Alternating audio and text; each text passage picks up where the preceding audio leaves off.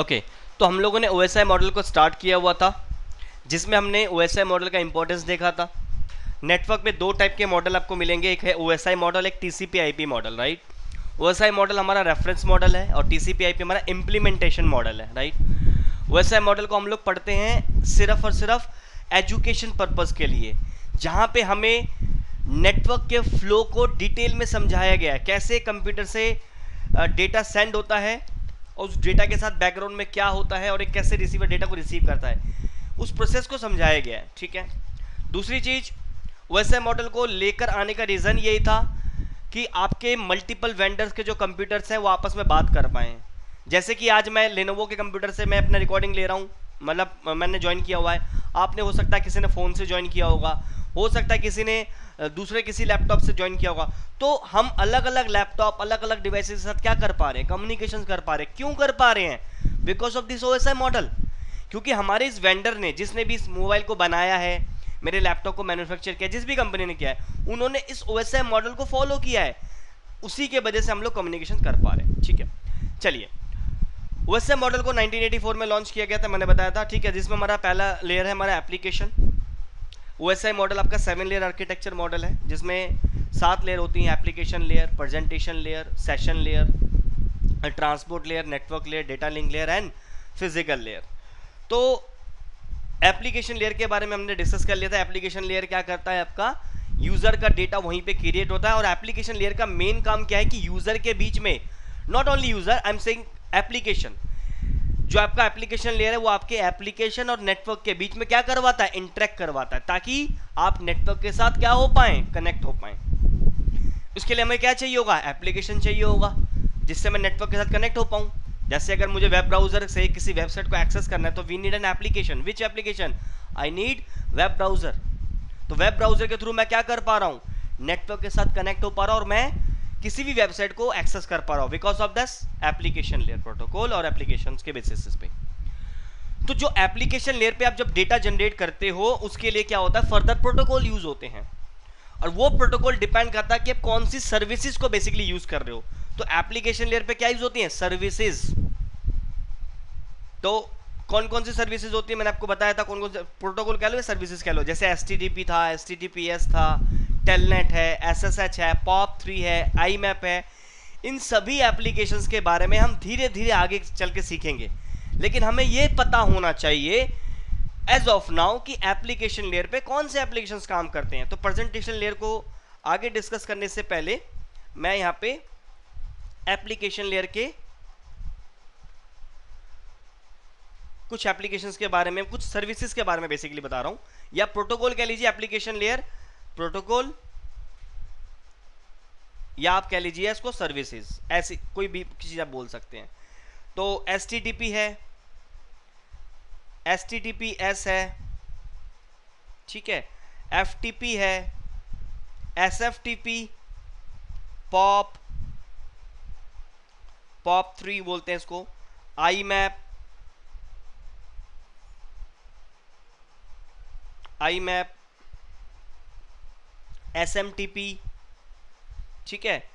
D N S D S C P telnet S S H S N M P ये बहुत सारे protocols हैं। इसके अलावा भी बहुत सारे हैं। ये मैंने वो प्रोटोकॉल बताए थे, जो हम रेगुलर बेसिस पे डे टू डे में यूज़ करते हैं, ठीक है? और आने वाले टाइम में हम इन प्रोटोकॉल्स के बारे में सीखेंगे भी डोंट वरी किस प्रोटोकॉल का क्या कॉन्सेप्ट है, क्या यूज़ है, उसको हम सीखेंगे आगे चल के राइट लेकिन हमें इनके नाम पता होने चाहिए, ठीक है? अच्छा प्रेजेंटेशन लेयर क्या करता है? बात करते हैं नेक्स्ट प्रेजेंटेशन लेयर की।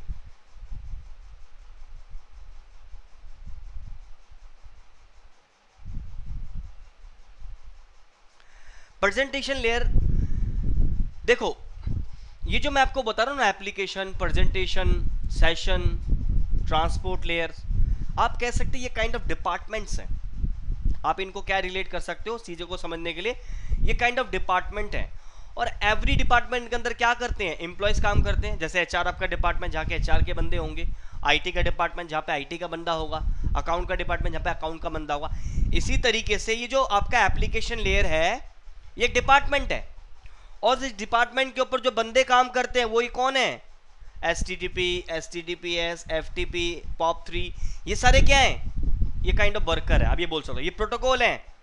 लेकिन आप इसको रिलेट कर सकते हो कि ये क्या है? ये वर्कर है। कौन से डिपार्टमेंट के? एप्लीकेशन डिपार्टमेंट के। एप्लीकेशन लेयर डिपार्टमेंट है इस डिपार्टमेंट ये बंदे काम करते हैं। और हर बंदे की अपनी अपनी रिस्पॉन्सिबिलिटी है। तो ये हम लोग आगे चल के डिस्कस करेंगे। नाउ अब बात करते हैं प्रेजेंटेशन लेयर प्रेजेंटेशन लेयर का काम क्या होता है? What is the use of presentation layer presentation layer का काम होता है कन्वर्ट कन्वर्ट या फिर कह सकते हो present present your data in a correct in a correct format. So user and application and application user and an application can understand समझते इस चीज़ को देखो अगर मैं बात करूँ मेरे पास दो बंदे हैं ये एक बंदा है इंडिया का। और ये बंदा है चाइनीज़ का, चाइना का। ये चाइना का बंदा एक इंडिया का बंदा है। अब इंडिया का बंदे को सिर्फ़ और सिर्फ़ हिंदी आती है, चाइना के बंदे को सिर्फ़ चाइनीज़ आती है। अब अगर इंडिया वाले बंदे ने अपने एक लेटर को लिखा और लेटर को लिख के क्या कर दिया? सामने वाले को दे दिया, हिंदी में लिख के। चाइना वाला बंदा क्या करेगा? उसको पढ़ पाएगा? नहीं पढ़ पाएगा? समझ ही नहीं पाएगा क्या चीज़ है। उसको हिंदी तो आती नहीं है। चाइना वाला बंदा भी अगर अपनी चाइनीज़ वाले में बात, चाइनीज़ लैंग्वेज में अगर बात करता है या कोई लेटर लिख के इंडिया वाले को देता तो वो भी समझ नहीं पाएगा, क्योंकि उसको चाइनीज़ तो आती नहीं है। तो क्या कर सकते हैं? हम बीच में क्या कर सकते हैं? एक बंदे को खड़ा कर देता है। ये क्या काम करेगा? ट्रांसलेटर का। ये काम करेगा ट्रांसलेटर का। ट्रांसलेटर का काम करेगा तो मतलब इंडिया वाला बंदा जो भी इंफॉर्मेशन देख बताएगा। सामने वाला ये जो मीडिएटर है, जो ट्रांसलेटर है, वो क्या करेगा? उसको ट्रांसलेट करके इसको चाइना में बता देगा। क्योंकि इस बंदे को क्या आती है? चाइना भी आती है और हिंदी हिंदी भी आती है। तो ये ट्रांसलेट कर सकता है। चाइना वाला बंदा कुछ बोलेगा तो उसको हिंदी में ट्रांसलेट करके इसको बता देगा। जिससे क्या होगा, इनके बीच में कम्युनिकेशन होगा। और ये एक दूसरे की बात को समझ पाएँगे, है ना? और अपनी अपनी जो भी प्रॉब्लम है, ये शेयर कर पाएँगे। इसी तरीके से आपके नेटवर्क में भी जब आप डेटा को सेंड और रिसीव करते हो तो वो ऐसे फॉर्मेट में होता है जो कि आपका एप्लीकेशन और एक यूज़र एप्लीकेशन जो आप यूज़ कर रहे हो गूगल क्रोम है वट और यूज़र जो हम हैं, हम क्या यूज़ करते हैं? एप्लीकेशन के थ्रू डेटा को एक्सेस करते हैं। तो उस डेटा को इस फॉर्मेट में चेंज किया जाए। देखो बैकग्राउंड में तो सारी चीज़ें कैसे कोडिंग फॉर्मेट में होंगी। अब कोडिंग तो आपको आती नहीं है। तो इस केस में क्या करेगा? प्रेजेंटेशन लेयर उस चीज़ को क्या करेगा? कन्वर्ट कर देगा। ट्रांसलेट कर देगा इन सर्टेन फॉर्मेट जो कि एक एप्लीकेशन और एक यूज़र समझ पाए। एग्ज़ाम्पल समझते चीज़ को। मैं ब्राउज़र पे जाता हूँ और यहाँ पे मैंने क्या किया? ध्यान से देखना। मैंने www.cisco.com करके एक वेबसाइट को टाइप किया। और मेरे पास एक खूबसूरत सा वेब पेज आया। खूबसूरत सा वेब पेज आया। और यहाँ पे क्या है? एक खूबसूरत सा यहाँ पे कुछ टैक्स लिखे हुए हैं, कुछ पिक्चर्स हैं। हैं, कुछ लिंक्स है अगर मैं लिंक पे क्लिक करूँगा, मैं दूसरे पेज पे चला जाऊँगा। और इससे क्या बन रहा है? आपके खूबसूरत सा वेब पेज बन रहा है। लेकिन बैकग्राउंड में ये जो आप देख पा रहे हो इमेजेस हैं टेक्स्ट लिखा हुआ आ रहा है ब्लू कलर में आ रहा है, ये सारी चीज़ें कौन कर रहा है? हमारा प्रेजेंटेशन लेयर इस चीज़ में हेल्प कर रहा है। प्रेजेंटेशन लेयर ने क्या किया है? जब आपने www.cisco.com टाइप किया तो आपके कंप्यूटर से एक रिक्वेस्ट गया। किसके पास? सिस्को के सर्वर के पास। हे सिस्को सर्वर, मुझे आपका वेबसाइट को एक्सेस करना है। और जो सिस्को का वेब सर्वर है होगा, उसमें क्या होगा? इस वेबसाइट की कोड पड़ी होगी। ये पूरा का पूरा कोड पड़ा होगा वहाँ पे। तो सर्वर क्या कर देगा? उठा के उस कोड को आपको सिस्टम को दे देगा। और मेरे सिस्टम में सारा का सारा कोड आ गया। लेकिन अगर मैं डायरेक्टली कोड को देखूँ तो मेरे को समझ में कुछ थोड़ी आएगा। तो क्या करेगा? आपका प्रेजेंटेशन लेयर ने उस कोड को ट्रांसलेट कर दिया इस खूबसूरत से वेब पेज में। इसी तरीके से अगर मैं एक नया वेब पेज खोलूं, नया एक टैब खोलू, और यहाँ पे टाइप करता हूँ मैं youtube.com और youtube.com में जब टाइप करता हूँ तो यहाँ पे क्या आ रहा है? एक खूबसूरत सा YouTube का एक वीडियो आ रहा है, और यहाँ पे सारे फॉर्मेट कैसा है डेटा का? वीडियो फॉर्मेट में। अगर इसी तरीके से मैं एक और टैब खोलू, और यहाँ पे लिखू गाना तो यहाँ पे सारा का सारा जो डेटा वो किस फॉर्मेट में? ऑडियो फॉर्मेट में है। आप गाने सुन पा रहे हो। देख भी पा रहे हो, कुछ वीडियो फॉर्मेट में भी है, कुछ सॉन्ग बेसिकली हमारा सारा का सारा ऑडियो फॉर्मेट में है। तो आपका प्रेजेंटेशन लेयर क्या करता है? आपका प्रेजेंटेशन लेयर आपके डेटा को कन्वर्ट करता है इन अ करेक्ट फॉर्मेट में, ताकि एक यूज़र और एक एप्लीकेशन उस चीज़ को समझ पाए। अगर मैं वेबसाइट का एग्ज़ाम्पल लूँ तो थोड़ा ध्यान से समझना यहाँ पे क्या हुआ, जब मैंने अपने कंप्यूटर से www.cisco.com टाइप किया। ध्यान से समझना। ये मेरा कंप्यूटर है, या मेरा लैपटॉप वट समझ लो। ये किससे कनेक्टेड है? इंटरनेट से कनेक्टेड है। ठीक है? और इंटरनेट पे कहीं पे ये क्या रखा हुआ है? सिस्को का सर्वर रखा हुआ है। सिस्को सिस्को का वेब सर्वर जहाँ पे सिस्को डॉट कॉम की क्या पड़ी है? वेबसाइट पड़ी है। और वेबसाइट में सारा का सारा क्या? कोड फॉर्मेट में पड़ा होगा। तो आपने क्या किया? वेब ब्राउज़र को यूज़ करते हुए वेब ब्राउज़र था आपका? वेब ब्राउज़र के अंदर आपने टाइप किया www.cisco.com तो आपके कंप्यूटर से एक रिक्वेस्ट गया इसके पास। और इस सर्वर ने क्या कर दिया? सारा का सारा कोड आपको दे दिया। और ये कोड कहाँ पे आ रहा है? आपके एप्लीकेशन जिसको रिसीव कर रहा है।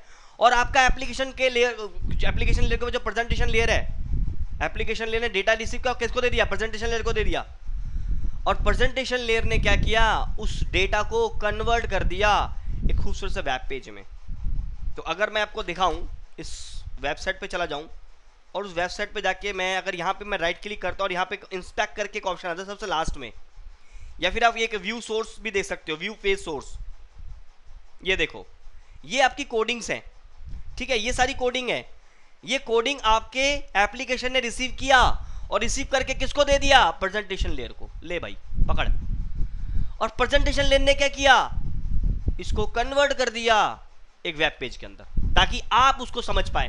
अगर आपका प्रेजेंटेशन लेयर इसको नहीं कन्वर्ट करता ऐसे ही दे देता, क्या आप इसको समझ पाते? क्या है? व्हाट इज़ दिस क्या आप इसको समझ पाते? क्या गया ये? क्या कैन यू सी क्या है ये? What is this you don't know मुझे नहीं पता क्या है। क्या कोड में लिखा है? डोंट नो तो प्रेजेंटेशन लेयर ने क्या किया? प्रेजेंटेशन लेयर ने उसको कन्वर्ट कर दिया खूबसूरत से पेज में।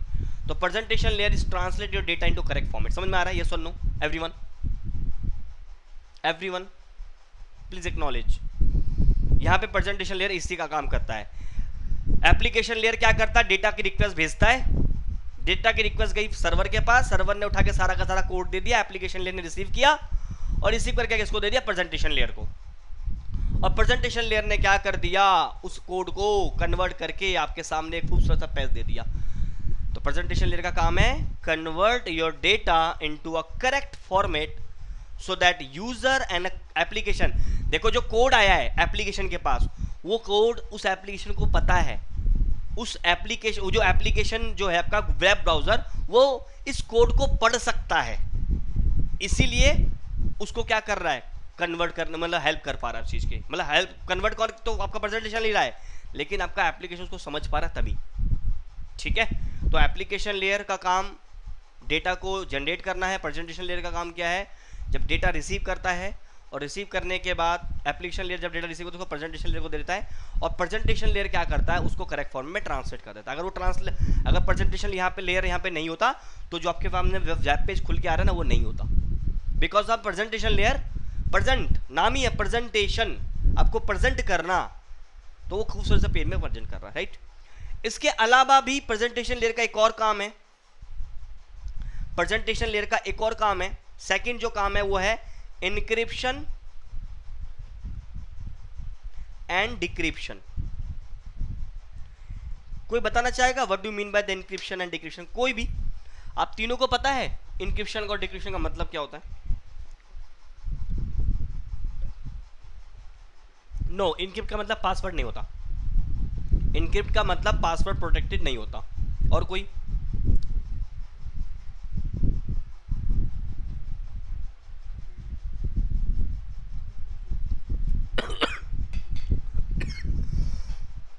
ठीक है। देखो इंक्रिप्शन का मतलब होता है to convert your data into plain plain text into a cipher text what do mean by the encryption encryption means convert convert plain text plain text into a cipher text. Cipher text का मतलब होता है unreadable format plain text मतलब readable और cipher text मतलब unreadable जैसे, अगर मैं बात करूँ, एक मैसेज है हेलो ये कैसा है? प्लेन टेक्स्ट इसको कन्वर्ट कर दिया मैंने कुछ इस तरीके से. One two dollar hash one three percentage four K Y ये हेलो प्लेन टेक्स्ट है और ये जो कन्वर्ट हुआ, इसको हम बोलेंगे सिफर टेक्स्ट तो इसको कन्वर्ट करने के लिए भी बहुत अलग से अलग एल्गोरिदम्स यूज़ होते हैं, हम उसके बारे में नहीं जाएँगे, लेकिन प्रेजेंटेशन लेयर क्या करता है? आपके डेटा को इनक्रिप्ट और डिक्रिप्ट करता है। इनक्रिप्ट का मतलब होता है plain text convert into cipher text और डिक्रिप्शन का मतलब उल्टा होता है। कन्वर्ट योर डिक्रिप्शन का मतलब होता है convert cipher text into plain text मतलब अगर ये है आपका सिफर टेक्स्ट इसको कन्वर्ट कर दिया वापस हेलो में तो उस प्रोसेस को क्या बोलेंगे? Decryption encryption is a process to convert your data into plain text sorry plain text into a cipher text what do mean by decryption convert your data ciphertext into a plain text. That process called is decryption. तो आपका presentation layer encryption और decryption भी provide करता है। लेकिन आपका presentation layer हर बार इंक्रिप्ट करेगा, ये पॉसिबल नहीं है। ये डिपेंड करता है कि जो एप्लीकेशन लेयर्स पे डेटा कौन भेज रहा है प्रेजेंटेशन लेयर को। एप्लीकेशन लेयर क्या करेगा? डेटा जनरेट करके किसको दे देगा? प्रेजेंटेशन लेयर को। अब प्रेजेंटेशन लेयर देखेगा। कि डेटा मुझे कौन से प्रोटोकॉल ने दिया है? तो जिस प्रोटोकॉल ने दिया है, वो सिक्योर है या नहीं है? एग्ज़ाम्पल हमने वेब ब्राउज़र को एक्सेस किया था। तो वेब ब्राउज़र को एक्सेस करने के बाद हमने एक वेबसाइट एक्सेस करा। और वेब साइट को, या आप कह लो कि जो वेब का जो डेटा है, उसको एक्सेस करने के लिए हमें या तो एस या तो एस ये दो प्रोटोकॉल की रिक्वायरमेंट होती है। तो अगर आपका डेटा एस के थ्रू है तो ये आपका नो इंक्रिप्शन अगर आपका एस के थ्रू डेटा आया है तो आपका प्रेजेंटेशन लेयर कोई इंक्रिप्शन प्रोवाइड नहीं करेगा। क्योंकि एस प्रोटोकॉल आपका सिक्योर प्रोटोकॉल नहीं है। अगर मैं बात करूँ एस अगर आपका डेटा एस के थ्रू आए तो प्रेजेंटेशन लेयर उसको क्या करेगा? इनक्रिप्ट करेगा। तो इंक्रिप्शन करेगा तो सामने वाला जो सेंडर होगा वो इंक्रिप्ट करेगा। इंक्रिप्शन कहाँ पे होता है? इंक्रिप्शन होता है आपका, जो इंक्रिप्शन होता है, वो आपके सेंडर के एंड पे होता है। और जो डिक्रिप्शन होता है, वो आपका रिसीविंग एंड पे होता है। भाई, मैं ताला लगा, जब मैं आपको कोई डेटा भेजूँगा, उसको लॉक करके भेजूँगा। तो मैंने क्या क्या इनक्रिप्ट करके भेजा? जब उस डेटा को रिसीव आप करोगे तो उसको क्या करोगे? डिक्रिप्ट करोगे, खोलोगे। तो इंक्रिप्शन कहाँ पे होता है? सेंडर के एंड पे होता है। और रिसीविंग कहाँ पे क्या होगा? डिस्क्रिप्ट होगा। तो प्रेजेंटेशन लेयर ये देखता है कि जो डेटा है वो किसने दिया है?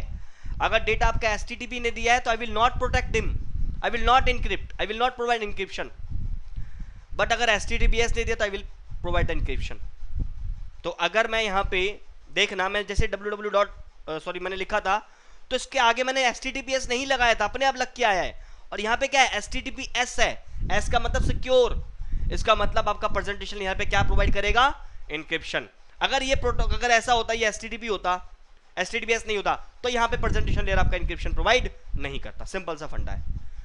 प्रेजेंटेशन लेयर का काम है डेटा को प्रेजेंट करना in a correct format second काम है provide the encryption and decryption encryption कब करेगा? जब सामने वाला जो लेयर है, जो जो सॉरी जो प्रोटोकॉल जिसने डेटा जनरेट करके दिया है, वो कैसा है? उसके ऊपर डिपेंड करता है। ठीक है?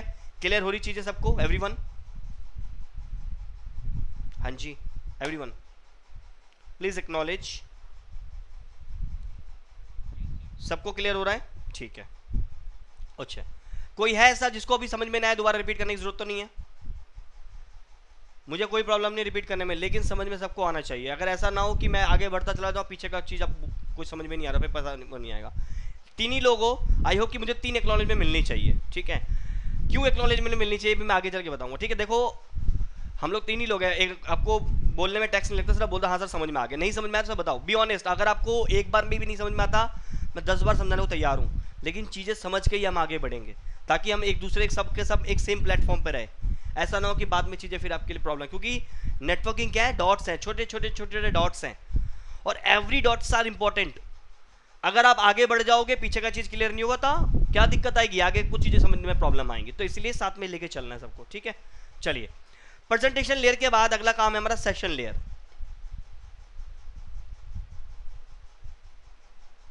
वेरी इंपॉर्टेंट बस ज़्यादा नहीं। क्या है इसको समझते हैं। सेशन लेयर का काम क्या है? सेशन लेयर क्या करता है? एक सेकेंड हाँ। Create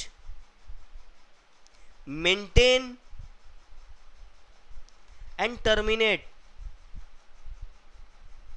the session session layer का काम है सेशन को क्रिएट करना सेशन को मेंटेन रखना सेशन को टर्मिनेट करना, ये काम सेशन लेयर का काम होता है। और ये सेशन आपका वर्चुअल सेशन होता है, ठीक है? क्योंकि आपने www.cisco.com टाइप किया था तो आपके आपके वेब ब्राउज़र पे सिस्को की वेबसाइट ओपन हो गई। तो बैकग्राउंड में क्या हुआ?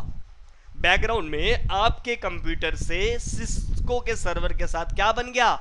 एक सेशन बन गया, जहाँ से आपका डेटा क्या हो रहा है? आ रहा है और जा रहा है, उस सेशन के थ्रू तो सेशन लेयर क्या कर रहा है? उस सेशन को क्रिएट कर रहा है, ताकि डेटा क्या हो, आया जाए, जा सके। जैसे आपको अगर घर से ऑफ़िस जाना है तो रास्ता होता है ना आपके पास, जिसके आप चलते हो। तो वही काइंड ऑफ़ थिंग है। वैसे वो रास्ते को हम लोग सेशन से कंपेयर नहीं करेंगे, रास्ता का कॉन्सेप्ट अलग आ जाता है नेटवर्क में आ जाता है। लेकिन आप एज्यूम करो कि आपकी क्या बन गया। अच्छा हाँ ठीक है।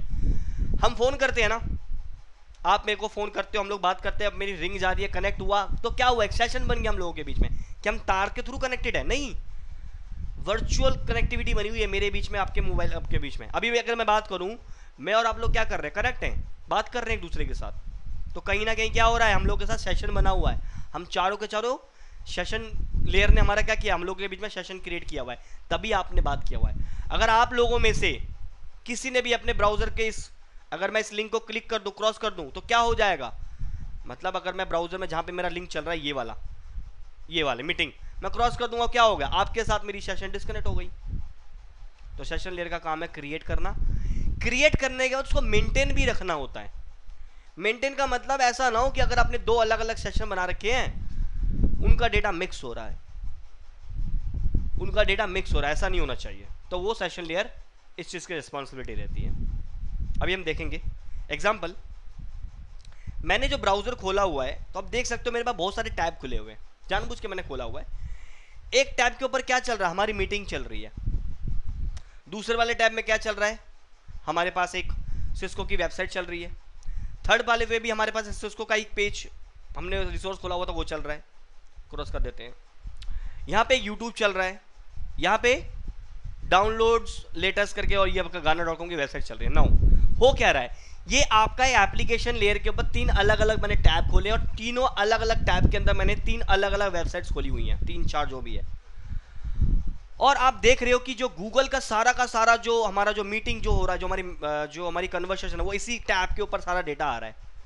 सिस्को का वेबसाइट इस वाले टैब पे खोल रहा है। कहीं ऐसा हो रहा है कि सिस्को की वेब पेज के ऊपर आपको यूट्यूब का डेटा दिख रहा हो? नो क्या यूट्यूब के ऊपर सिस्को का कोई वेब पेज दिख रहा है? नो क्या आपको गाना डॉट कॉम के ऊपर सिस्को या यूट्यूब का कोई डेटा दिख रहा है? No why because session layer ने को मेंटेन किया हुआ है। आपके इस वाले टैब के ऊपर सिर्फ़ और सिर्फ़ गाना डॉट कॉम का डेटा ही आएगा। अगर आप यहाँ पे प्ले करो तो गाना डॉट कॉम का डेटा ही चलेगा। यूट्यूब वाले पेज पे यूट्यूब का। तो इस सेशन को मेंटेन करने का काम कौन कर रहा है? आपका सेशन लेयर और जैसे ही मैंने क्रॉस कर दिया, ये क्रॉस कर दिया तो क्या हुआ? ये भी मैंने क्रॉस कर दिया। क्या हुआ? कि YouTube के साथ और गाना डॉट कॉम के सर्वर के साथ जो सेशन बना हुआ था, वो मैंने क्या कर दिया? टर्मिनेट कर दिया। क्रॉस कर दिया तो टर्मिनेशन हो गया। तो सेशन लेयर के ऊपर जब सेशन बनता है, ये आपकी सेशन जो होती है, वो कई बार अनलिमिटेड भी होती है, कई बार ये अपने आप से भी सेशन डिस्कनेक्ट हो जाता है। एग्ज़ाम्पल के लिए आप लोगों ने कहीं ना कहीं बैंकिंग की सर्वर की सर्विसेज़ को यूज़ किया होगा नेट बैंकिंग वगैरह। कभी गौर किया होगा जब आप नेट बैंकिंग को ओपन करते हो और आप लॉग आउट करना भूल जाते हो तो क्या होता है? After five minutes ten minutes जो भी उसके ऊपर आपकी सर्वर सॉफ्टवेयर डेवलपर ने जो सेशन लगाया होगा, कि आपने सी बैंक को खोला और आपने क्या किया? अपनी नेट बैंकिंग को ओपन किया लॉगिन किया और अपना जो भी था काम किया। बट आप लॉग आउट करना भूल गए। तो उस केस में क्या होगा कि जो आपका सिस्टम है, वो आइडल स्टेट पे चला गया। आपके सिस्टम से S D F C server के ऊपर कोई रिक्वेस्ट अब नहीं जा रही है और ना ही एस डी एफ़ सी से कोई रिक्वेस्ट आपके सिस्टम पे आ रही है। तो H D F C system जो सर्वर है ना, जो नेट बैंकिंग का, जो एच डी एफ़ सी का सर्वर है, वो देखेगा क्लाइंट ने एक वेब पेज ओपन किया हुआ है बट अब वहाँ से कोई रिक्वेस्ट नहीं आ रही मतलब कोई डेटा नहीं आ रहा है। तो वो देखेगा कि अगर वो पाँच मिनट तक अगर कोई डेटा मेरे पास आ नहीं रहा तो मैं सर्वर क्या करूँगा? वहाँ का जो सेशन लेयर है, वो अपने आप से उसको क्या कर देगा? टर्मिनेट कर देगा। और पाँच मिनट के बाद आपको याद आता है, वो मैं तो भूल गया था उसको लॉग आउट करना। जब आप जाके उसको रिफ्रेश करोगे तो दिखाएगा ऑलरेडी ऑलरेडी लॉग आउट कभी फेस किया होगा अपनी चीज़ें? ये सुन लो आई होप कि सब चीज़ें सबने फेस किया होगा ये सुन तो इस, ये क्या है आपका? सेशन लेयर अब इस चीज़ का काम कौन है? मैंने बताया ना, ये एप्लीकेशन लेयर जो डेवलप करता है, जो नेट बैंकिंग आप एप्लीकेशन यूज़ कर रहे हो, ये जो डेवलपर ने उसको बनाया है, उसने इस चीज़ की कॉन्फ़िगरेशन कोडिंग वगैरह कर रखे कितनी देर तक अगर रिक्वेस्ट नहीं जाएगी तो अपने आप से टर्मिनेशन हो जाएगा। तो जैसे मैंने बताया, तीन के जो ऊपर लेयर होती हैं, जो ऊपर की जो तीन लेयर्स होती हैं एप्लीकेशन प्रेजेंटेशन एंड सेशन ये सारा का सारा आपका सॉफ्टवेयर डेवलपर के लोग मैनेज करते हैं राइट तो ये आपका सेशन लेयर का काम होता है टर्मिनेट करना। अगर आप जीमेल खोल के बैठ जाओ तो जीमेल का अगर पेज आपका खुला हुआ आएगा, आपने जीमेल को लॉगिन करके छोड़ दिया, आप दो घंटे के बाद भी उसको रिफ्रेश करोगे, आपका पेज वैसे ही दिखाएगा। क्योंकि जीमेल का जो एप्लीकेशन जो सर्वर है, उसके अंदर आपकी जो सेशन है, वो टर्मिनेट होता नहीं है, जब तक आप उसको खुद से क्रॉस ना करो। जीमेल का सर्वर ये नहीं बोलेगा कि यूज़र जो है लॉगिन करके भूल गया है, मैं अपने आप से कर दूँ, और उसको करोगे तो रिफ्रेश करो तो दोबारा उसी पेज पे आ जाओगे। करके देखना जीमेल के लॉगिन करके छोड़ देना, और दो घंटे के बाद उस पेज को रिफ्रेश करना, आप उसी पेज पे वापस आ जाओगे। क्यों? क्योंकि आपका सेशन क्या होगा? वापस से रिफ्रेश वहीं से खुल जाएगा, आपका कहीं से भी क्या कह लोगे, आपका टर्मिनेशन अपने आप से नहीं होगा। लेकिन कुछ कुछ एप्लीकेशन के ऊपर ये चीज़ पहले से कर दी जाती है एज अ सॉफ्टवेयर डेवलपर के थ्रू कि अगर जो क्लाइंट है, वो आइडियल स्टेट पे चला गया तो हमें क्या कर लेना है? सर्वर को टर्मिनेशन कर लेना है। तो सेशन लेने का काम है सेशन बनाना। बन गया तो उसको मेंटेन भी रखना ताकि दो अलग अलग सेशन मिक्सअप ना हो। और तीसरी चीज़, आपके सेशन को टर्मिनेट करना। कोई डाउट यहाँ पे किसी चीज़ को? एनी सबको क्लियर है? चलिए। नेक्स्ट बढ़ते हैं आगे। Transport layer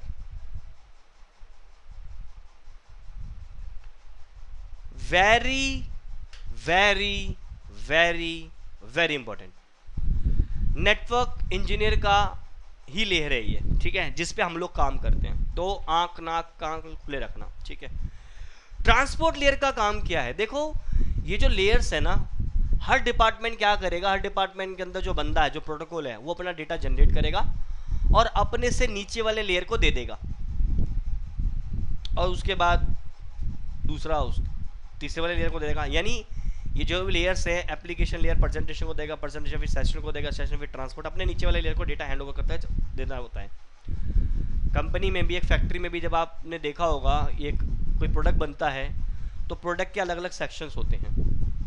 कहीं पे कटिंग हो रही होती है, कहीं पे उसकी पैकिंग हो रही होती है तो हर डिपार्टमेंट का अलग अलग वर्क है। लास्ट में फिर वो मार्केट में निकलता है बिकने के लिए। लेकिन उसके अंदर, उसके मार्केट में बाहर आने से पहले, उस प्रोडक्ट के साथ डिफरेंट डिफरेंट डिपार्टमेंट क्या करते हैं? कोई पैकिंग कर रहा होता है, कोई उसके अंदर पॉलिशिंग कर रहा होता है, कोई धागा कटिंग कर रहा होता है, बहुत डिपेंड करता है कि कौन सा प्रोडक्ट है। तो ऐसे ही जो डेटा आपके सिस्टम से निकलेगा ना, उस डेटा के ऊपर भी बहुत सारी चीज़ें होती हैं।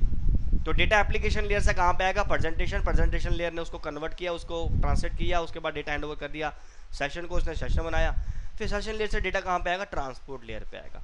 जब डेटा सेशन लेयर से ट्रांसपोर्ट लेयर पे आएगा तो ट्रांसपोर्ट लेयर की रिस्पॉन्सिबिलिटीज क्या है वो समझते हैं। ट्रांसपोर्ट लेयर का काम है सेगमेंटेशन ट्रांसपोर्ट लेयर का काम क्या है? सेगमेंटेशन व्हाट डू मीन मतलब segmentation segmentation is a process to cut your huge data into a small small pieces segmentation means क्या होता है? To cut your data into small small pieces आपके जो डेटा है ना, बड़े डेटा को, जो बड़ा डेटा होता है, उस डेटा को छोटे छोटे पीसेस में कट करता है। And that pieces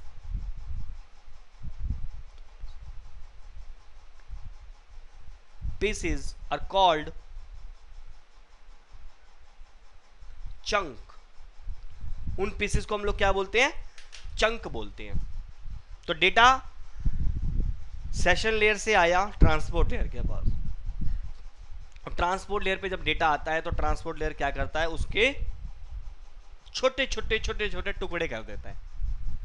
और उसके बाद उसको जो छोटे छोटे टुकड़े किए उस टुकड़े का नाम क्या है? चंक। इतना चीज़ समझ में आया? सेगमेंटेशन का मतलब? मतलब समझना इस चीज़ को। समझना इस चीज़ को। आपके पास एक मैसेज था। ये मैसेज है। हेलो हाउ आर यू ये आपका एक मैसेज है, ठीक है? होल्ड ऑन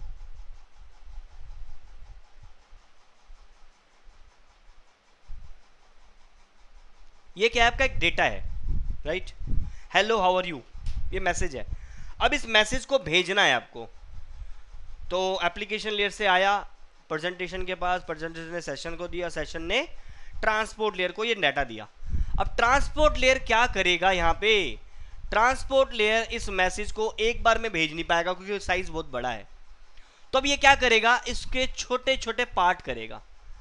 हेलो को इसने क्या किया? अलग किया। हाउ को इसने? अलग कर लिया। आर को इसने अलग कर लिया। और यू को इसने अलग कर लिया क्वेश्चन मार्क को भी अलग कर लिया। तो मैंने क्या किया, इनके छोटे छोटे टुकड़े कर दिए। ध्यान से समझना वट टाइम सेइंग हियर बहुत इंपॉर्टेंट है। तो ये मैंने कर दिया इससे, ठीक है। थोड़ा एडजस्ट करना चीज़ों को, ऐसे ही मैंने कर दिया। चल जल्दी जल्दी में। तो ये मैसेज था हेलो हाउ आर यू अब इस छोटे छोटे पार्ट में से डिवाइड कर दिया, ठीक है। मान के चलो ये कंप्यूटर था। इस कंप्यूटर ने ये सेंडर था, ये दिस द सेंडर ये सेंडर है और ये सामने रिसीवर है। ये सेंडर है। ये रिसीवर है। अब सेंडर के जो एप्लीकेशन प्रेजेंटेशन लेयर सॉरी जो ट्रांसपोर्ट लेयर है, उसने क्या किया? छोटे छोटे पार्ट में डिवाइड किया। उसके बाद इस पार्ट को उसने सेंड कर दिया।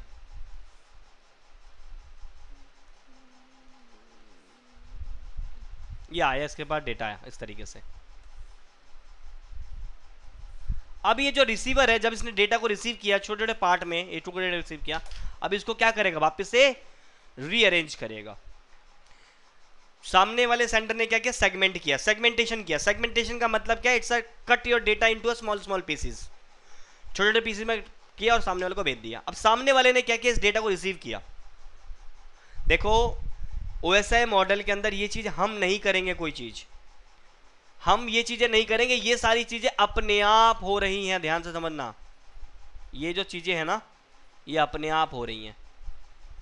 बैकग्राउंड में अपने आप। हम सिर्फ़ प्रोसेस को समझ रहे कि एक्चुअल में डेटा कैसे जाता है और वैसे मॉडल के अंदर जो लेयर्स है, ये कैसे काम करती हैं। ये अपने आप काम करती हैं। आपको नहीं बोलना कि आपको प्रेजेंटेशन लेयर को बोलना नहीं है कि डेटा कन्वर्ट करके दो, या आपको नहीं करना कन्वर्ट आपके कंप्यूटर सिस्टम में ये एप्लीकेशन लेयर से लेके जो आपकी टोटल जो फ़िज़िकल लेयर है सारी लेयर्स अपने आप होती हैं। और ये लेयर्स अपने आप से ये काम करती हैं। ठीक है? ये लेयर्स अपने आप से ये काम करती हैं। तो आपको कुछ नहीं करना है इसके अंदर। सिर्फ़ हम प्रोसेस को समझ रहे हैं। तो रिसीवर ने क्या किया? ये छोटे छोटे टुकड़े रिसीव किए। रिसीव करने के बाद अभी सामने क्या करेगा? रिसीवर इसको रीअरेंज करेगा। लेकिन अब यहाँ पे प्रॉब्लम है। इस डेटा को मैं कैसे रिसीव देखो, ऐसा नहीं है कि हेलो पहले आएगा हाउ बाद में सेम ऐसे नहीं। इसलिए रिसीवर ने यू को पहले रिसीव किया, बाद में क्वेश्चन मार्क को, फिर हाउ को रिसीव किया, फिर हेलो फिर लास्ट में आर आया। ऐसे आया ये अलग अलग पीसेस जो थे अलग अलग टाइम ड्यूरेशन में आया। अब यहाँ पे रिसीवर ना परेशान हो जाएगा इस डेटा को रिकॉल करने के लिए। मतलब रीअरेंज करने के लिए नॉट रिकॉल रीअरेंज करने के लिए। सिंपल सा मैं आपके साथ भी बताता हूँ ये चीज़। ये आप हो। ये आप हो और आपका मैनेजर बोलता है कि आप ना ये सौ पेज की एक बुक है। ये हंड्रेड पेज की एक बुक है। बट ये बुक नहीं है, ये हंड्रेड पेज का क्या है? एक बुक है मतलब ये अलग अलग पेजेस है, ये बाइंड नहीं है बुक नहीं है अलग अलग हंड्रेड पेजेस है, ये हंड्रेड हंड्रेड पेजेस का क्या है बुक है? और ये बोलता है कि इन पेजेस को क्या कर ले आओ बाइंडिंग करा के लेकर आओ मार्केट से। और आप क्या करते हो? इस बुक को उठाते हो और लेके चले जाते हो। रस्ते में क्या होता है, आपके हाथ से ये बाई मिस्टेक ये गलती से गिर जाता है और हंड्रेड पेज बिखर जाते रस्ते में। अब आप क्या करोगे?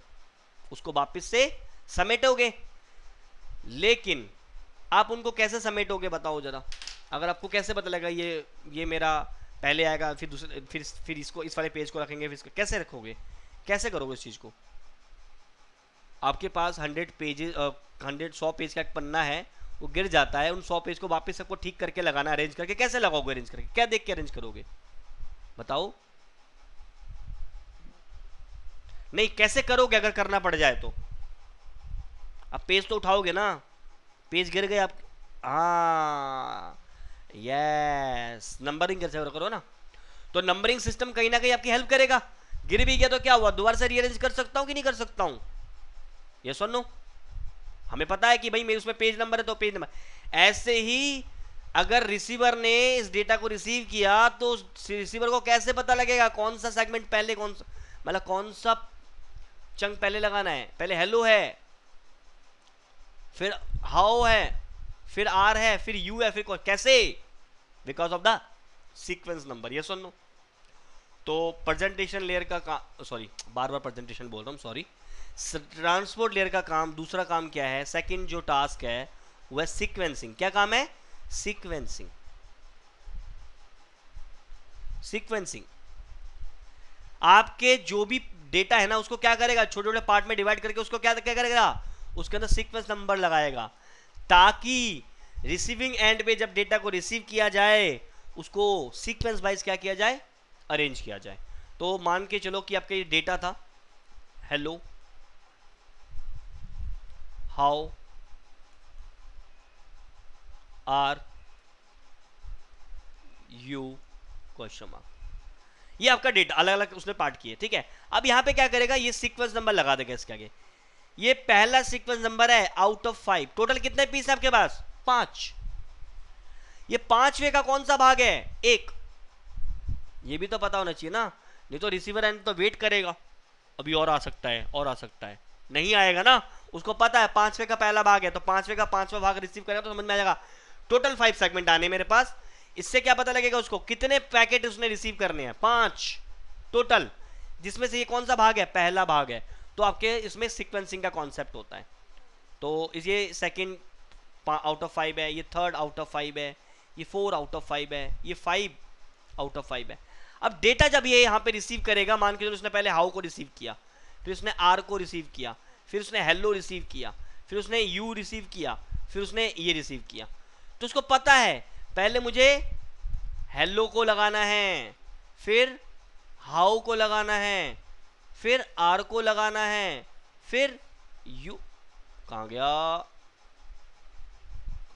फिर यू को लगाना है, फिर इस क्वेश्चन मार्क को लगाना समझ में आया ना? ये सुन सीक्वेंस नंबर के वजह से। तो आपका ट्रांसपोर्ट लेयर जब भी छोटे छोटे पीसेस करता है, उसके उस पीसेस के आगे एक सीक्वेंस नंबर लगा देते तो पहला काम सेगमेंटेशन कि बड़े डेटा को छोटे पार्ट में डिवाइड करना साथ में उसके साथ क्या कर देना उसको एक सीक्वेंस नंबर लगा देना ताकि रिसीविंग एंड पे डेटा को दोबारा से रीअरेंज किया जा सके। समझ में आ रहा है? ये सुन लो एवरीवन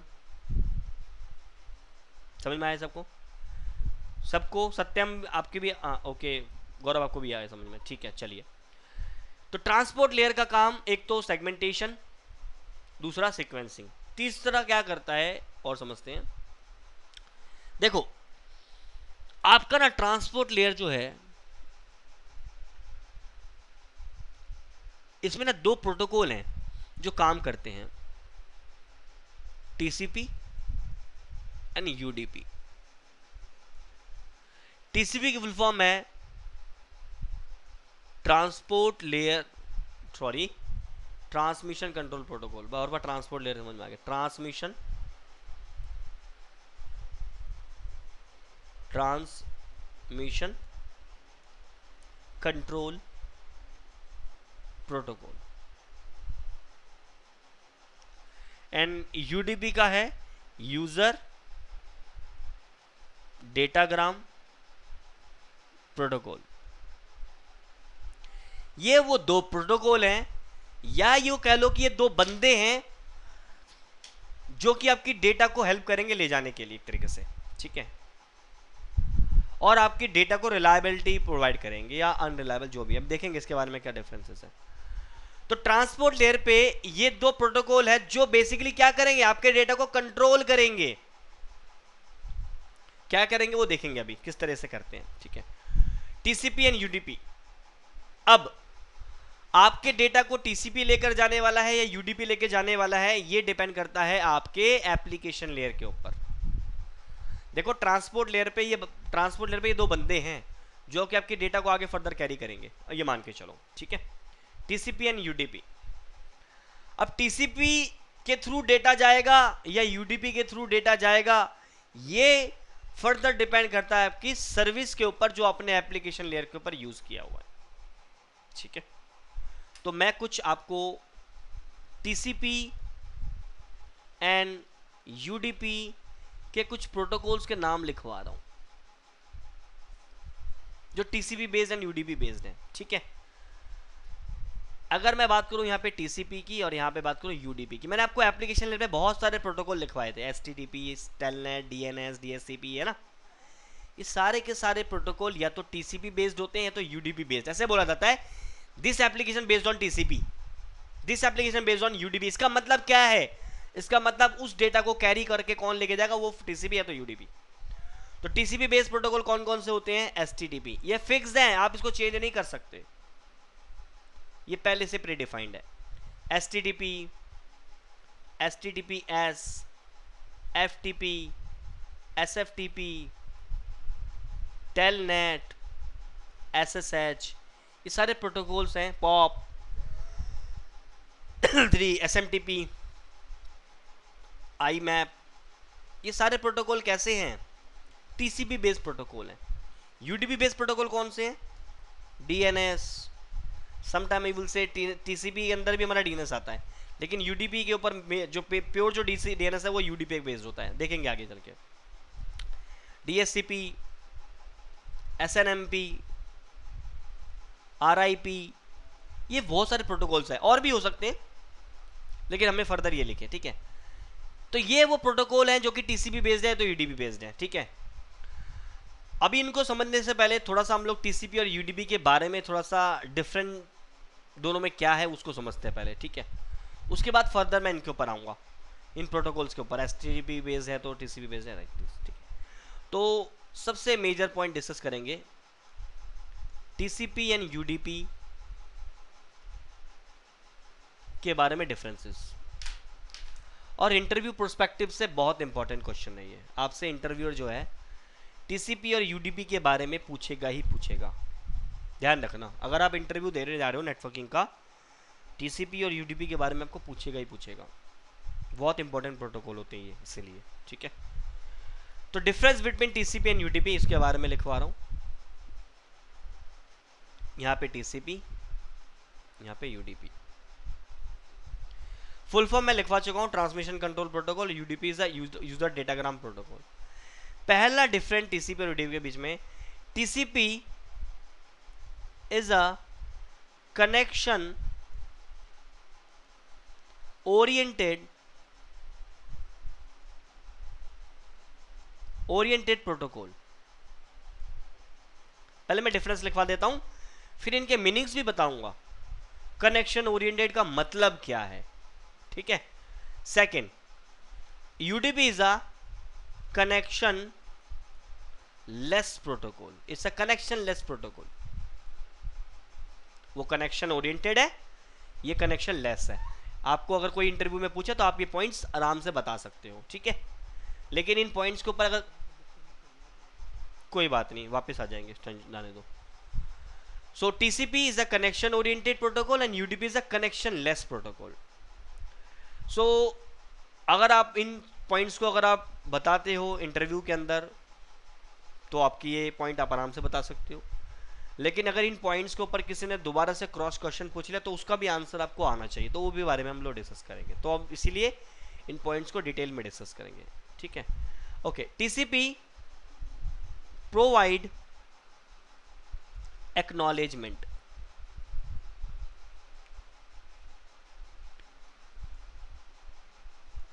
और यूडीपी ये पहला नंबर है। ये दूसरा नंबर है। No acknowledgement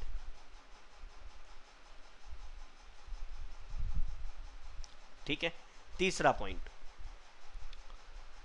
TCP is a reliable protocol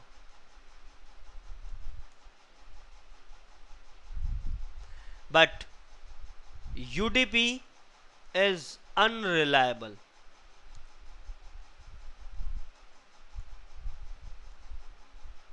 right चौथा TCP is a slow protocol TCP is a एक सेकेंड देना। TCP is a slow protocol. Fourth, UDP is a fast protocol. Right? तो ये कुछ डिफरेंसेस हैं right hello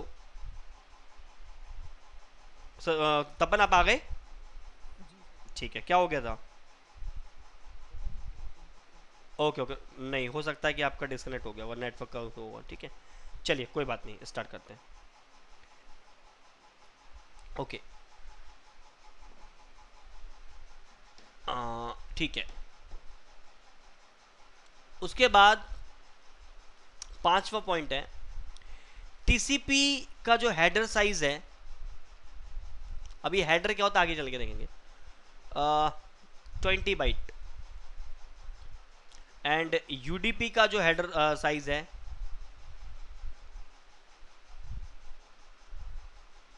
वो four byte ठीक है? चलिए। पहले हम फ़र्स्ट वाले पॉइंट की डिस्कस करते हैं कि टीसीपी कनेक्शन ओरिएंटेड है, उसका मतलब क्या है? So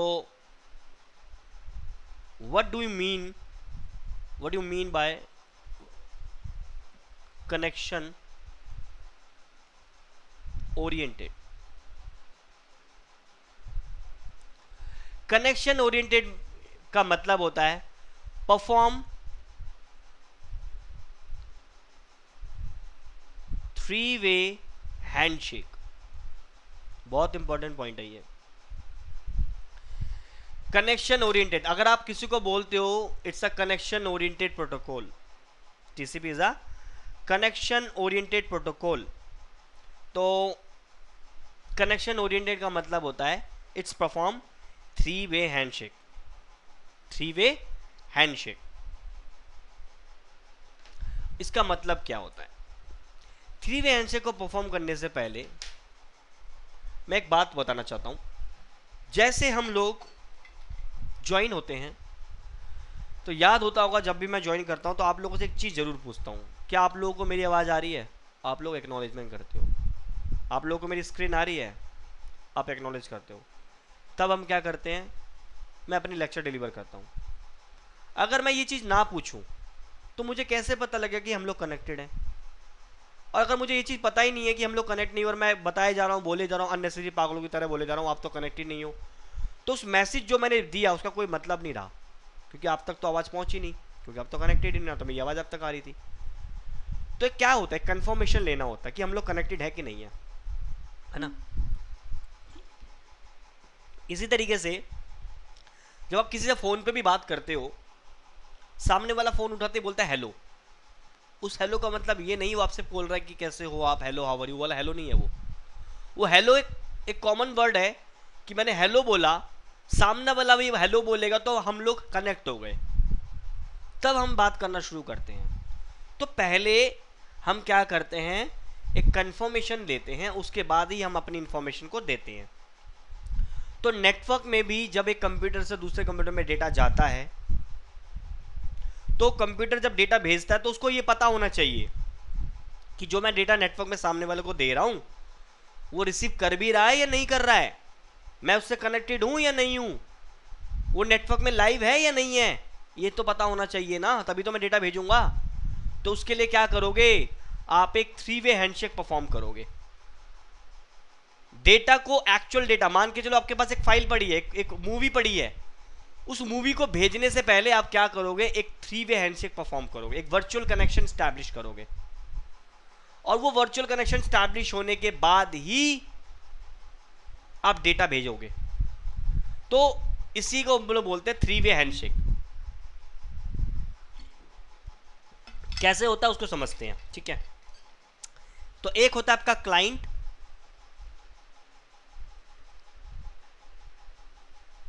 और एक होता है आपका सर्वर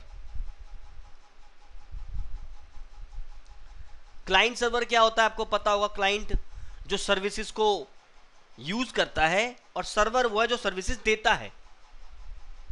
आप एक कस्ट, एक रेस्टोरेंट में जाते हो एज अ कस्टमर और आप क्या करते हो? खाना ऑर्डर करते हो। तो आपने क्या किया? आपने खाना ऑर्डर किया रिक्वेस्ट किया तो आप क्लाइंट हुए। और जो वेटर आपके लिए खाना लेकर आ रहा है, वो प्रोवाइड कर रहा है, आपको सर्विसेज़ दे रहा है। तो सर्वर वो जो अपनी सर्विसेज़ देता है, और क्लाइंट वो जो सर्विसेज़ को यूज़ करता है। आपका वेब सर्वर था? और आप क्या कर रहे थे? उस वेब सर्वर को यूज़ कर रहे थे। आप उस वेबसाइट को यूज़ कर रहे थे अपनी इंफॉर्मेशन लेने के लिए। कुछ इंफॉर्मेशन लेने के लिए या कुछ भी इंफॉर्मेशन देने के लिए वट तो वेब सर्वर क्या कर रहा है आपको? वो वेब की सर्विसेज़ प्रोवाइड कर रहा है। उस वेब उस वेब पेज की सर्विसेज़ दे रहा है आपको, वो वेब पेज दे रहा है आपको। और आप उसके वेब पेज को क्या कर रहे हो? यूज़ कर रहे हो। आप हो गए क्लाइंट वो सर्वर ठीक है? तो क्लाइंट और सर्वर के बीच में जब डेटा सेंड और रिसीव होता है, जब डेटा सेंड जो एक्चुअल डेटा सेंड होता है, उससे पहले क्या करते हैं? थ्री वे हैंडशेक परफॉर्म करते हैं। तो क्लाइंट क्या करता है? एक पैकेट भेजता है। मैं बता रहा हूँ, यहाँ पे थ्री वे हैंडशेक प्रोसेस बता रहा हूँ मैं अभी आप लोगों को। अभी मैं आपको थ्री वे हैंडशेक प्रोसेस बता रहा हूँ। सबसे पहले क्या करता है, आपका जो क्लाइंट है ना, एक सिन पैकेट भेजता है। क्या भेजता है एक? सिन पैकेट क्या भेजता है? सिन पैकेट सिन का मतलब होता है सिंक्रोनाइजेशन और आपका जो सर्वर है ना वो बदले में आपके क्लाइंट को एक सिन प्लस एक भेजता है। अभी मैं समझा दूँगा इसका मतलब क्या है। सिन प्लस एक एक मतलब एक्नॉलेजमेंट और क्लाइंट बदले में क्या भेजता है? एक्नॉलेजमेंट एसी की अब समझते इसका मतलब क्या है। क्यों ये हुआ? देखो क्लाइंट क्या करेगा? सिम पैकेट भेजेगा। सिम का मतलब पता क्या है? एक्चुअल में ये बोल रहा है, हे सर्वर क्या लोग ऐसे बोल रहा है? Hello server I want to talk to you अब ये मान के चलो, ऐसा बोल रहा है। सर्वर को एक सिम रिक्वेस्ट भेज रहा है। इसका मतलब क्लाइंट बोल रहा है, हे सर्वर भाई मुझे आपसे बात करनी है। अब अगर सर्वर आपसे बात करने के लिए इंटरेस्ट होगा तो बदले में आपको क्या पैकेट भेजेगा? सिन प्लस एक्नोलेजमेंट अगर सर्वर आपसे बात करने में इच्छा होगा तो वो क्या भेजेगा? सिन प्लस एक्ट एक्नोलेजमेंट का मतलब क्या है कि जो आपने उससे बोला ना कि hello server I want to talk to you उसके बदले में सर्वर ने क्या भेजा? एक एक्नोलेजमेंट भेजी। इसका मतलब ओके मुझे इसने, इसका आपको आंसर किया। जो एक्नोलेजमेंट जो देख रहे हो एसी के जो लिखे हुए आ रहा है, उसके अंदर मैसेज के अंदर, इसका मतलब जो आपने सिन भेजा ना, उसका ये आंसर कर रहा है। सिन भेजा क्लाइंट ने बोला I want to talk to you तो बदले में सर्वर ने क्या बोला? ओके अब वो ओके तो नहीं बोल सकता ना, उसने एक्नोलेजमेंट भेज दिया। और उसके बाद सर्वर ने भी अपना एक सिन पैकेट भेजा। ये सर्वर भी बोल रहा है। ये सर्वर बोल रहा है, इस में। Client hey client I want to talk to you also I want to talk to you also मैं भी आपसे बात करना चाहता हूँ। तो क्लाइंट ने क्या भेज दिया? ओके जब ये तीन पैकेट सक्सेसफुली एक्सचेंज हो जाएँगे तो आपके बीच में और सर्वर के बीच में क्या हो जाएगा? एक कनेक्शन स्टैब्लिश हो जाएगा। क्या हो जाएगा? कनेक्शन स्टैब्लिश उसके बाद ये अपना डेटा और सेंड और रिसीव करेंगे। लेकिन डेटा सेंड रिसीव करने से पहले ये परफॉर्म हर बार होगा। और डोंट वरी मैं आपको ये चीज़ करके दिखाऊँगा विद प्रैक्टिकल डोंट वरी आने वाले टाइम में हम इसको प्रैक्टिकली प्रूव करेंगे। मैं ऐसे ही नहीं बोल रहा हूँ सारी चीज़ें। तो सिन सिन प्लस एक और एक ये तीन पैकेट एक्सचेंज होते हैं during the three way handshake SYN का मतलब है I want to talk to you SYN plus एक मतलब है कि एक मतलब कि मैं ओके और अपना सिन का मतलब भेज दिया कि मैं भी आपसे बात करना चाहता हूँ तो बदले में क्लाइंट ने क्या भेजा ओके अब यही चीज़ अगर आप गूगल पे चले जाओ थ्री वे हैंडशेक लिखो यहाँ पे. TCP three way handshake image पे चलते हैं हम लोग डायरेक्टली और यहाँ पे आपको इस तरीके से मिल जाएगा। ये देखो। ये दो यूज़र है, बात करना चाहते हैं। इसने सिन भेजा, बदले में सिन प्लस एक भेजा और इसने एक्नोलेजमेंट भेजी। अब ये देख सकते हो, सामने लिखा हुआ है। यहाँ पे भी आपको दिख रहा होगा, ये देखो। सिन सिन प्लस एक एन एक ठीक है? इसमें बहुत सारी चीज़ें होती है सीक्वेंस नंबर एक्नोलेजमेंट नंबर वो हम लोग आगे डिस्कस करेंगे। ये देखो, यहाँ पे भी। क्लाइंट एंड सर्वर लिखा ना? टीसीपी सर्वर, टीसीपी क्लाइंट इसने सिन पैकेट भेजा ग्रीन वाले पे देखना सिन भेजा सिन प्लस एक भेजा और एक भेजा। तो ये प्रोसेस आपका हर बार होगा जब टीसीपी के थ्रू डेटा जाएगा। समझ में आ रहा है? यस और नो यस और नो कोई है जिसको समझ में ना आया हो? तपन, आपको समझ में आया? रिपीट करने की ज़रूरत तो नहीं है।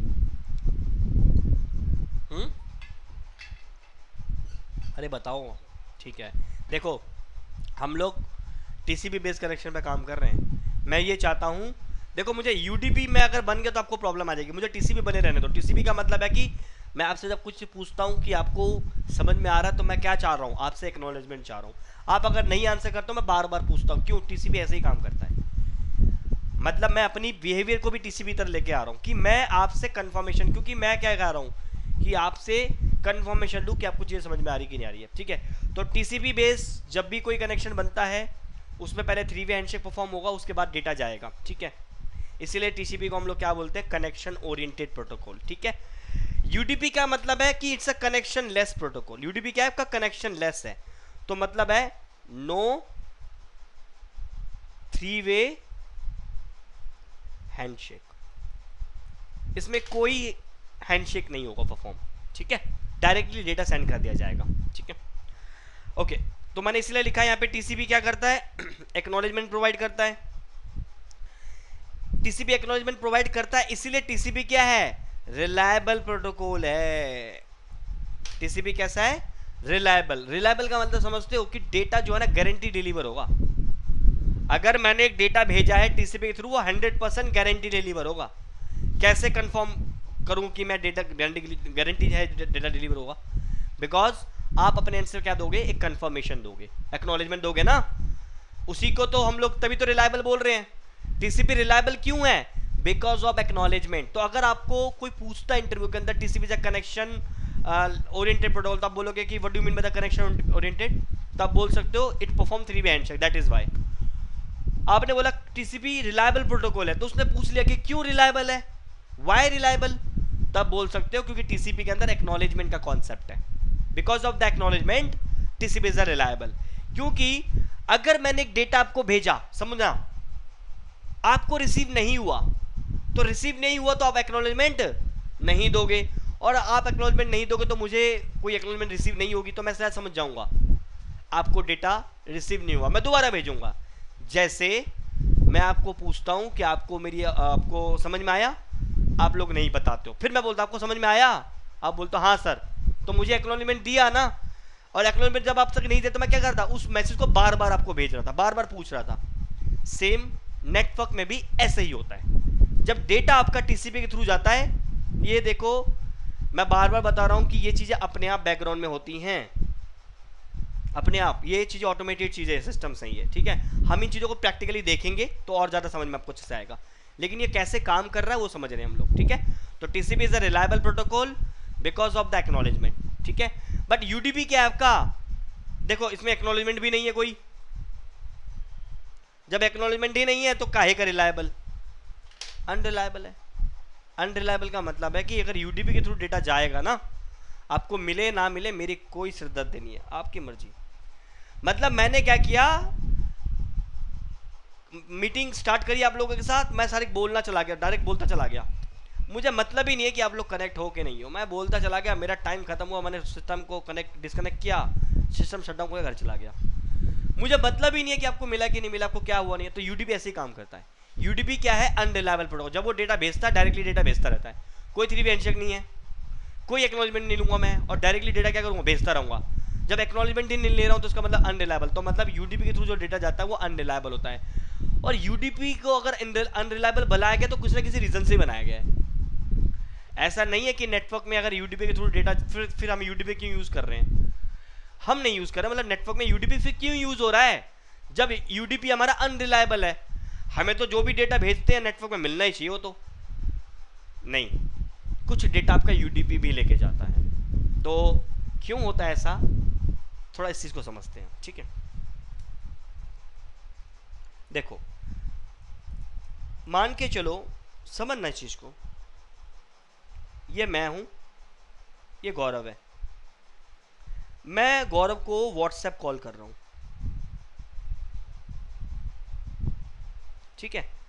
हम लोग व्हाट्सएप कॉल के थ्रू आपस में कनेक्टेड है, बात कर रहे हैं। अब गौरव ने मेरे से कुछ चीज़ें बोली उस टाइम पे क्या हुआ? मेरा नेटवर्क डिस्टर्ब हो गया।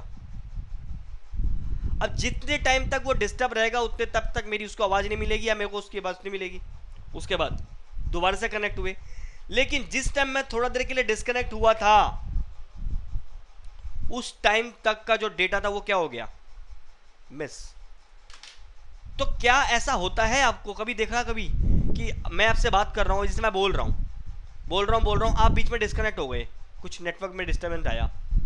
लेकिन जो मैंने बातें उस टाइम पे बोली थी, जिस टाइम वो मिस हो गया था, क्या वो जैसे आप कनेक्ट हो तो दोबारा सुनने को मिलता है आपको? अपने आप से। मिलता है कि नहीं मिलता? पहले बताइए, क्या मिल, नहीं मिलता ना? आप लोग फ़ोन पे भी जब बात करते हो नेटवर्क में डिस्टर्बेंस आती है तो वो जितनी देर में वो डिस्टर्बेंस रहती है, उतनी देर की बात आपको समझ में नहीं आती है। और अगर दोबारा से सही से नेटवर्क हो भी जाता तो वो रिपीट दोबारा नहीं आता। क्यों? क्योंकि यूडीपी बेस्ड है। अगर ऐसा होता तो क्या प्रॉब्लम आती? देखो आप मुझसे बात कर रहे हो, बात करते टाइम वो बीच में वो बात अटक चली गई मिस हो गया, समझना चीज़ को। हम दोनों voice call voice over call पे हैं। जब हम बात कर रहे हैं, बीच में क्या हुआ नेटवर्क में ग्लिच आया, उस टाइम हमारा क्या हुआ, सारा बीच में जितनी भी कन्वर्सेशन थी वो ड्रॉप हो गई। और अगर ऐसा होता कि जैसे दोबारा से कनेक्ट हुआ जो मैंने बोला वो दोबारा गया, उसका मतलब कुछ रहेगा, कुछ समझ में आएगा क्या होगा? जैसे मैंने बोला, गौरव आप कैसे हो, आज क्यों नहीं आए? लेकिन गौरव आप कैसे हो, वाला कट गया। और क्यों बाकी वाला वर्ड चला गया। लेकिन दोबारा से जब हम कनेक्ट है तो गौरव कैसे हो वर्ड वाला पहले जाएगा? नहीं जाएगा। अगर ऐसा होता तो आपकी नेटवर्क कन्वर्सेशन जो होती है वो एकदम मतलब बातों की मीनिंग की कुछ कुछ कुछ और निकल जाएगी। तो इसीलिए जब हम लोग वॉइस ओवर कॉल पे होते हैं लाइव स्ट्रीमिंग कर रहे होते हैं ऑनलाइन जब लाइव गेम खेल रहे होते हैं, या रियल मैच जब हम लोग रियल टाइम मैच देख रहे होते हैं, या हम लोग जो रियल न्यूज़ देख रहे होते हैं, जो लाइव चल रही होती है सारा का सारा वो सारा का सारा डेटा आपका यूडीपी बेस्ड होता है।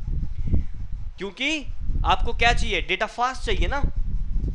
अगर मान के चलो, अगर आपको लाइव स्ट्रीमिंग मैच देख रहे हो, एक बंदे ने बॉल कराई और बॉल आपको, उस बॉल को पाँच मिनट के बाद आपको दिख रहा है, उसका मतलब है कुछ नहीं है ना। आप तो चाहते हो कि जिस टाइम वो बंदा बॉल ही करा, मुझे वो आउटपुट इमीडिएटली चीज़ दिखनी चाहिए। आप गेम खेल रहे हो, आपको कैसा लगेगा? जब आप किसी से बात कर रहे हो हेलो हाउ आर यू उसको दो मिनट के बाद वो मैसेज पहुँच रहा है। तो ऐसा नहीं होना चाहिए ना। आपको क्या चाहिए? फास्ट कन्वर्सेशन चाहिए। तो यूडीपी को इसलिए डिज़ाइन किया गया, जहाँ पे हमारी लाइव स्ट्रीमिंग का डेटा जो ट्रेवल करेगा, वो सारा का सारा कैसा होगा? यूडीपी बेस्ड होगा। लेकिन जैसे जो रियल टाइम डेटा होगा, आपकी कोई फ़ाइल है, आपने देखा होगा, आपने अगर जीमेल से किसी को मेल करो, अगर उसका मेल एड्रेस गलत है तो वो आपको रिप्लाई में आपको एरर मिलता है एक। या तो एड्रेस नॉट फाउंड है ना? ऐसा करके कुछ एरर देता है। इसका मतलब क्या हुआ? वो टीसीपी बेस्ड है। तभी तो आपका उस एरर का एक रिप्लाई मिला आपको एक्नोलॉजमेंट मिला, वो डेटा एक्चुअली डिलीवर नहीं हुआ। एड्रेस गलत था। हाँ भाई, तूने क्या एड्रेस दे दिया? यार, वो तो जा ही नहीं रहा है। ईमेल आईडी गलत बता रहा है। क्यों पता लग रहा है आपको? क्योंकि वो डेटा टीसीपी बेस्ड था। अगर यही चीज़ अगर आप फ़ोन पे बोल रहे होते और भाई कैसा है और उसको आवाज़ पहुँची ही नहीं तो उसको सुनाई नहीं देगा कि उस टाइम पे नेटवर्क ग्लिच था। यूडीपी ने दोबारा ट्रांसमिशन किया नहीं। तो जो आपका लाइव स्ट्रीमिंग का डेटा होता है, वो यूडीपी बेस्ड होता है। और जो रियल टाइम डेटा होता है रियल टाइम बोले तो जो आपका ईमेल की फ़ाइल हो गई या जो भी नॉर्मल हम लोग भेजते हैं। अभी आप जब आगे देखोगे चीज़ें कौन कौन सी टीसीपी बेस्ड है यूडीपी बेस्ड है। तो टी टीसीपी बेस्ड जो भी आपकी डेटा होगी, वो आपकी रिलायबल होगी और यू यूडीपी बेस्ड जो कि वो अनरिलायबल होगी। तो अनरिलायबल होने के वजह से ही यानी टीसीपी के अंदर एक्नोलेजमेंट है। उसको वेट करना पड़ रहा है एक्नोलेजमेंट के लिए। मैं डेटा भेज रहा हूँ और वेट कर रहा हूँ। आप एक्नोलेजमेंट दे रहे हो तो उसके बाद मैं नेक्स्ट डेटा भेज रहा हूँ। तो इसके लिए मतलब इसलिए टीसीपी क्या है? स्लो है। That is why TCP is a slow protocol यहाँ पे लिखा भी है TCP is a slow protocol but UDP is fast क्यों फास्ट है। उसको वेट नहीं करना पड़ रहा ना एक्नोलेजमेंट के लिए। डायरेक्टली डेटा भेज रहा है। तो ये हुआ हमारा कनेक्शन लेस कनेक्शन ओरिएंटेड का मतलब समझ में आया। एक्नोलॉजमेंट का कॉन्सेप्ट समझ कि टीसीपी में कनेक्शन एक्नोलॉजमेंट है। यूडीपी में कोई एक्नोलॉजमेंट नहीं है। टीसीपी रिलायबल है क्योंकि बिकॉज़ ऑफ़ एक्नोलॉजमेंट बट यहाँ पे कोई एक्नोलॉजमेंट नहीं है तो ये अनरिलायबल हुआ। टीसीपी फास्ट है सॉरी स्लो है, क्यों है? क्योंकि उसको एक्नोलॉजमेंट के लिए वेट करना पड़ रहा है। और यूडीपी फास्ट है बिकॉज़ ऑफ़ द कोई एक्नोलॉजमेंट के लिए वेट नहीं करना पड़ रहा। टीसीपी का हेडर साइज़ 20 बाइट का है। 20 बाइट का मतलब है हेडर साइज़ का मतलब समझो। अभी हम आगे समझेंगे ये टीसीपी का कवर लगेगा। जो आपका डेटा जाएगा उस डेटा को टीसीपी का कवर लगेगा। तो कवर का साइज़ भी बड़ा है तो भी कह लो कि ये भी एक, एक ये भी एक एक पॉइंट हो सकता है स्लोनेस का। ठीक है? यूडीपी का जो हेडर साइज़ है वो छोटा सा है फोर बाइट का है। तो बहुत छोटा है इसलिए इसमें ज़्यादा टाइम लगेगा नहीं। तो ये आपके डिफरेंसेस थे टीसीपी एंड यूडीपी के बारे में, ठीक है? अभी इसमें ट्रांसपोर्ट लेयर में तीन चार पॉइंट और हैं, मैं अभी डिस्कस नहीं करूँगा। पहले आप इतने से को कवर करो, यानी नेक्स्ट क्लास में हम इसको कंटिन्यू करेंगे। अगर यहाँ तक अगर आप लोगों को कोई डाउट है, कुछ समझ में नहीं आया तो you can ask any doubt till the point किसी पॉइंट में डाउट है? हाँ जी everyone everyone is done clear है सबको? ठीक है। क्या आप लोग? जी। हम्म।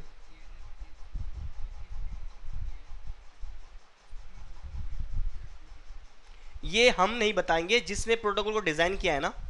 डीएनएस को मैंने तो नहीं बनाया ना डीएनएस प्रोटोकॉल है जो कि जिसने डीएनएस प्रोटोकॉल को डिज़ाइन किया है उसने ये चीज़ डिसाइड किया कि ये यूडीपी बेस्ड होगा। ये एप्लीकेशन लेयर पे बनती है ना ये सुनो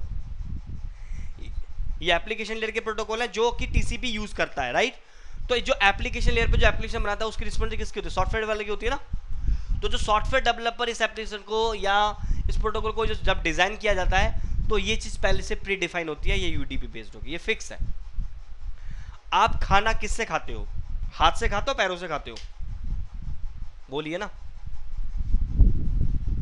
नहीं नहीं मतलब मैं मज़ाक नहीं क्वेश्चन का आंसर करना था अभी आपको चीज़ों के माध्यम में समझा पाऊँगा। अब खाना हाथ से खाते हो, ये सुनो अगर किसी को किक करना तो कैसे करते हो? पैरों से करते हो? क्या आपने कभी किक हाथों से करी है? क्या आपने खाना कभी पैरों से खाया है? नहीं ना। ये प्री डिफाइन है पहले से ही। यस और नो इसी तरीके से ये प्री डिफाइन है। D N S U D P based होगा एस टी सी पी आपका S T T P based होगा। ठीक है ना? मतलब S T P T C P based होगा। सॉरी उल्टा बोल गया मैं। एस ये जो प्रोटोकॉल्स हैं, ये टी सी पी बेस्ड हैं। तो आज आप क्या करना, एक आपको होमवर्क दे रहा हूँ। आज आप गूगल पे जाना सर्च करना T C P based protocol name मैंने जो बताए हैं, इनके अलावा दस प्रोटोकॉल आप लिख के आना।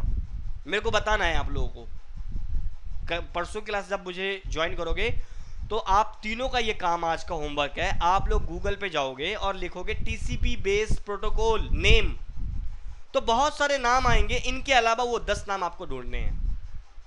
ऐसे ही आप यूडीपी के अंदर जो मैंने नाम लिखा है, इनके अलावा दस नाम आप यूडीपी के लिख के लाओगे। ये आपका होमवर्क है, अपने दिमाग को भी काम पे लगाना है आपको। ठीक है? ये करके लाओगे? ठीक है, ये करके लाना तो आपको पता लग जाएगा। तो ये पहले से प्री डिफाइंड है। आप गूगल में किसी भी आर्टिकल में खुल जाना, खोल लेना ऐसा कहीं नहीं मिलेगा कि टीसीपी के अंदर एस दिया है, कहीं पर आपको यूडीपी में एस दिखा। ऐसा नहीं मिलेगा, दोस्त। टीसीपी में एस भी है तो ये फ्री पहले से प्री डिफाइंड है। और ये आप नहीं डिसाइड करोगे। ये अपने आप से प्री डिफाइंड है। अभी हम लोग थोटिकल कॉन्सेप्ट को समझ रहे हैं। अभी हम इन चीज़ों को आगे जब बार बार बार बार पढ़ेंगे तो प्रैक्टिकल देखेंगे तो क्लियर होगा। डोंट वरी बहुत लंबी जर्नी है। अभी तो चार दिन हुए हमको। या दो दिन हुआ है। दूसरा दिन है सॉरी अभी दूसरा ही दिन है। तो अभी चीज़ें सिर्फ़ सुननी है आपको। ऑब्ज़र्व करनी है। क्या कह रहा हूँ उस पर ध्यान देना है। और जब हम इनका प्रैक्टिकल करेंगे और इनको बार बार बार बार इनके ऊपर काम करेंगे ना तो बी ऑनेस्ट अपने आप चीज़ें समझ में आनी शुरू हो जाएँगी। ठीक है? जब आप किसी कंपनी में पहली पहली बार जाते हो तो आपको काम समझ में नहीं आता है। आपको बताया जाता है, ऐसे करना है। फिर आप उस काम को एक दिन करते हो, दो दिन करते हो, तीन दिन करते हो, चार दिन करते हो, दस दिन करते हो, उसके बाद आप उनको उस काम के ऊपर एक्सपर्ट हो जाते हो, फिर वो काम अपने आप आपको आने लगता है। इसी तरीके से जब आप कोई नई चीज़ को, नई चीज़ सीखते हो तो वो चीज़ों को सीखने के लिए आपको बार बार उनको सुनना है ऑब्ज़र्व करना है। और जैसे आप सुनते रहोगे ऑब्ज़र्व करते रहोगे, चीज़ों के ऊपर काम करते रहेंगे, हम लोग आगे सीखते रहेंगे। प्रैक्टिकल कराऊँगा आप लोगों को, आप खुद से प्रैक्टिकल करोगे तो ये चीज़ें अपने आप से समझ में आनी शुरू हो जाएँगी डोंट वरी बहुत लंबी जर्नी है भाई हमारे पास अभी, ठीक है? चलिए नेक्स्ट क्लास में मिलते हैं फिर हम लोग, और आगे इसको फिर कंटिन्यू करते हैं, ठीक है? चलो। मैं